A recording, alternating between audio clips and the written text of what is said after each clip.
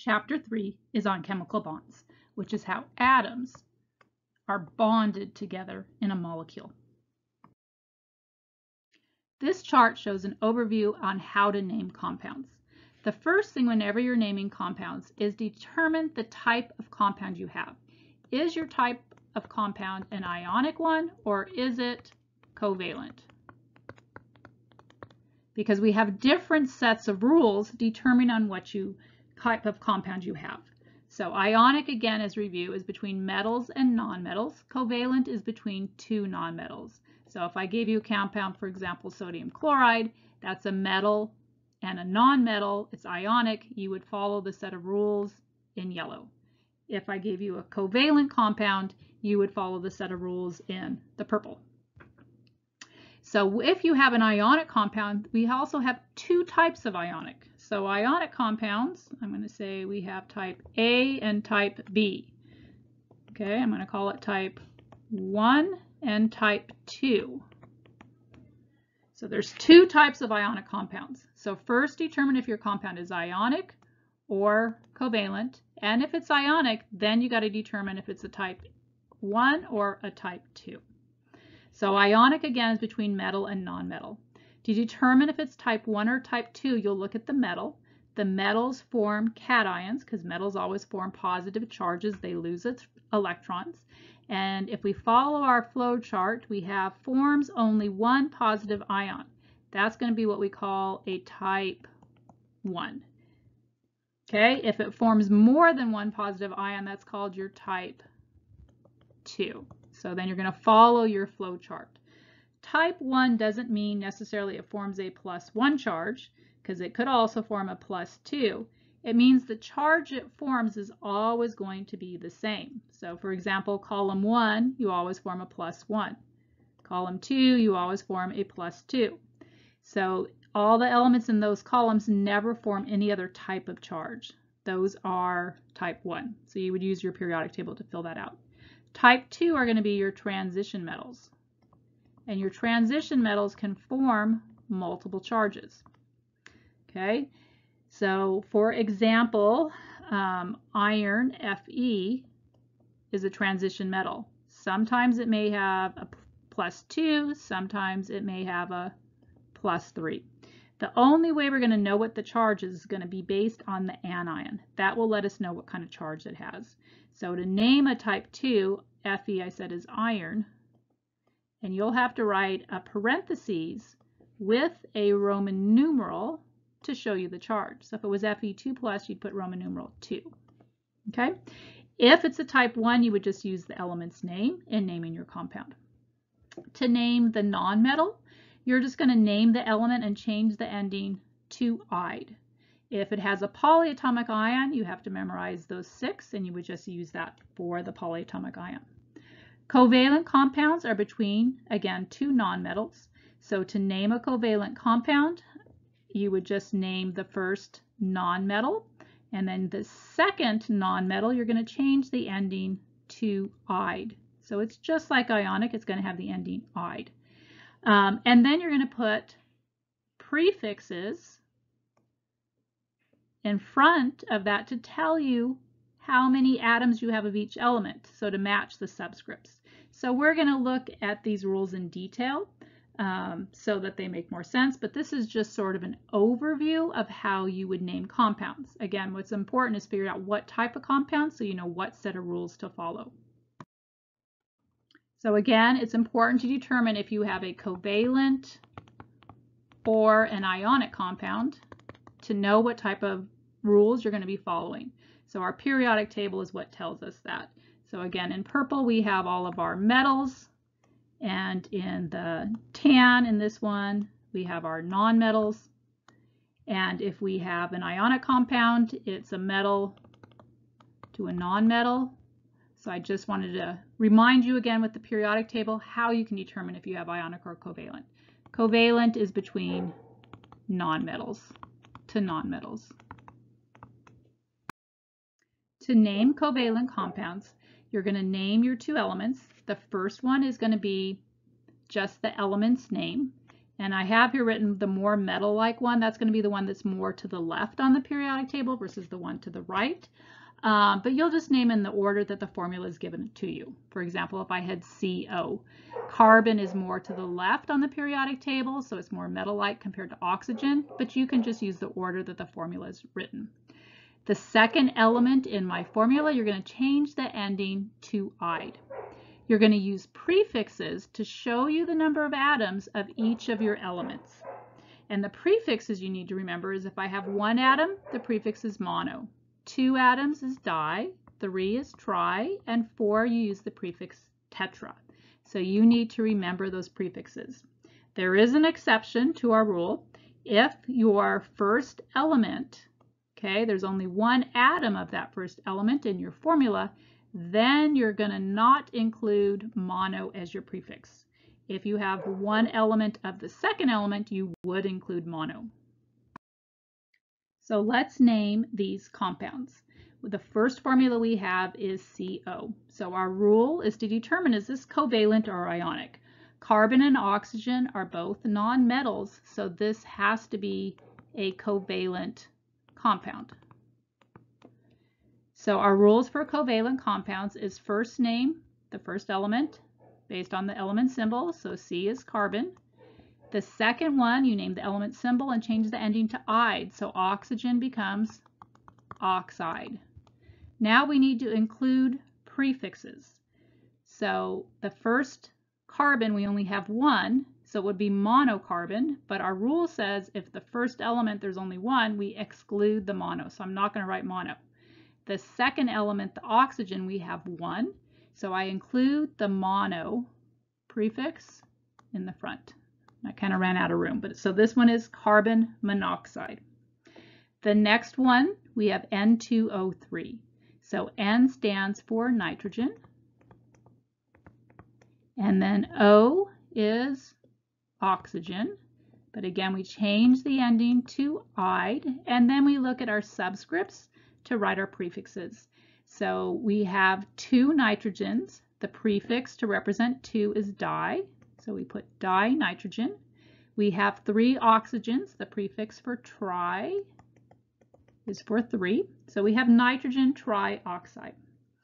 The one at the bottom, we have C, which is carbon. And then BR is one that you don't have to memorize, so I would tell you BR stands for bromine. But in order to name your covalent compound, you always want to change the ending to "-ide". So that would be bromide. And you use the prefixes. One carbon, we omit the mono. And then Br, we have four bromines. So we use the prefix tetra. So we have carbon tetrabromide. For naming ionic compounds, we have two types. We have type 1, which are binary ionic compounds. Binary means we have two elements. You're always going to name your cation first. Cations are the positive ones, and then name your anion. So cation is just the element's name, or the name of the metal.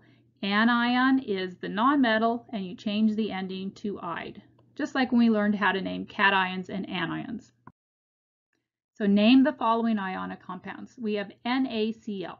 So first thing is we name the first element. Na is sodium. And then Cl is chlorine, but we'll change our ending to "-ide". So we have sodium chloride. The next one we have is Ba. Ba stands for barium. And then we have Cl, which is chlorine, becomes chloride. Now what I want you to notice here is there is no prefixes. So ionic compounds never have prefixes. Only covalent compounds. So this is not called barium dichloride because there's two chlorines. Ionic compounds do not need prefixes because we can look at the charge ratio between these ions to see that, that we have a neutral ionic compound here. So our type 2 ionic compounds are compounds that include our transition metals and our metals below the metalloid line. So I am looking at here are my transition metals. And then I have some here below my metalloid line. Okay, that's going to be my type 2 that I've circled. Type 1 means the element only forms one charge that never changes. So column 1 would form a plus 1 charge. Column 2 forms a plus 2 charge. Column 3 forms a plus 3 charge. Now that's not going to apply to the whole column. We're going to say that's for our first two metals here. So the rest of these elements can form multiple charges. Those are type 2. So the ones with the column 1, column 2, and part of column 3 are called type 1. And those are the rules we just went over. Type 2 are going to have Roman numerals in the name to tell us what the charge is. And then to determine the charge, we're going to do that based on the anion. To name our type 2 binary ionic compounds, you're going to first name the cation, which came from your metal, and then the charge on that cation you're going to write with the Roman numerals in parentheses next to the name. Then the name of the anion, which is your nonmetal, is the element name with the ending changed to "-ide". In order to determine the charge on the metal, you get that from the sum of the nonmetal anion charges. Let's see how we named SnCl2. So SN stands for tin. So I would tell you that piece of information. Now tin is one of our metals It's a transition metal or below the metalloid line. Tin can form multiple charges. It can form a plus 2 or a plus 4. So in order to know the charge on tin, we're going to do that based on the sum of the charges from our chloride proportion.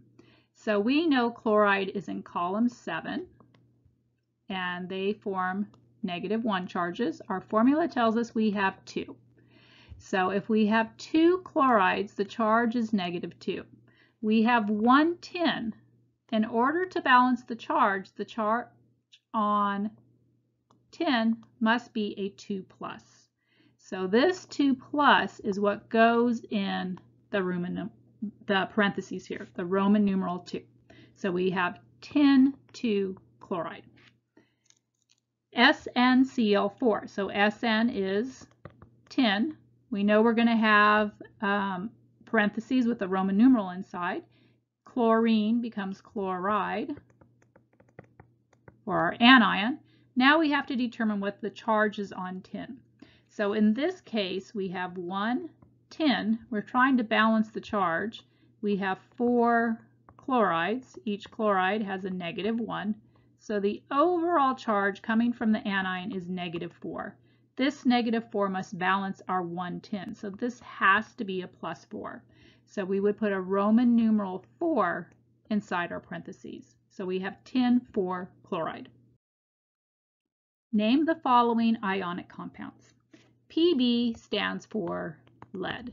Again, that's a piece of information I would give you. So to name this ionic compound, we would put Pb as lead. So lead is one of our elements that is a transition element or below the metalloid line. So it's going to need parentheses with the Roman numeral. Oxygen is the anion, becomes oxide. Now what we need to determine is the charge on lead because this is a type 2 ionic compound. So oxide, oxygen is in column 6, forms a negative 2. In this example, we have a ratio of 1 to 1. So we have one lead to every one oxide. So the charges must balance out, so lead must be a 2 positive. So we put a Roman numeral 2, and we end up with lead 2 oxide. The one below, we have lead, we have Pb, which is lead. I'm going to put my parentheses. And in this case, we have two oxides. So I'm writing oxide, and then I have two O2 minuses, my two oxides, and one lead. So overall, my charge from the two oxides is a negative 4. So to balance that, my lead must be a positive 4. So I have a Roman numeral 4. So it's lead 4 oxide. So remember, type 2 ionic compounds always need to have that Roman numeral. If it's type 1, meaning the charge never changes, column 1, column 2, part of column 3, do not put Roman numerals. If your ionic compound contains a polyatomic ion, you're going to name the ionic compound following the other rules, but just realize you have a polyatomic ion. So realize poly means many. The other ionic compounds had two elements. So anyone that has three elements, like these examples here, um, is going to contain a polyatomic ion. And those are the ones you have to memorize. So first thing with our ionic compounds is determine is it type 1 or type 2. So we have NaNO3. Na is in column 1. So it always forms a plus 1 charge. It never changes. So this is going to be a type 1. And remember, type 1 are easier to name than type 2. You don't have to figure out what the charge is. So just realize sodium's column 1, it's type 1. All you have to do is write its name. So the metal, you just write the name sodium. Now you have to realize the NO3 is a polyatomic ion. That's one of the ones you had to memorize. So we have sodium nitrate. Again, that was Nick. That helps you remember the number of oxygens in the name. The next one we have, we have FeSO4. So let's determine is this type 1 or type 2? Well, Fe, again, I would tell you this is called iron, is one of our transition metals. So that means it's a type 2. So we're going to start by writing the metal's name is iron. We're going to have Roman numerals. And then the polyatomic ion is called sulfate. And here's where you got to remember what's the charge on sulfate. So that's why I think my sentence with the word supper in it may help you. So sulfate has a negative 2 charge. In this case, we only have one iron. So in order to balance that, the charge on iron must be a 2 plus. So we put a Roman numeral 2. We get iron 2 sulfate. The next one we have here, again, we're determining if it's type 1 or type 2. So barium is in column number 2. So this is going to be a type 1 ionic compound because our elements in column 2 always form a plus 2 charge, never any other type of charge. So Ba stands for barium. And again, that's one of the ones I would give you because I don't think you had to memorize that one. And then OH is hydroxide. So we have barium hydroxide. And we don't have to try to balance any charges, so they're easier to do. The next one we have is CaCO3. Calcium is also in column number two. So this is also a type 1 ionic compound. So we would just write calcium, no parentheses needed, and then we need to remember our polyatomic ion's name is carbonate. So we have calcium carbonate. So again, remember, first thing important, determine the type of compound, ionic or covalent, so you know what set of rules to follow. If it's ionic, is it type 1 or type 2? And then follow the appropriate set of rules and you should be able to name the different types of chemicals.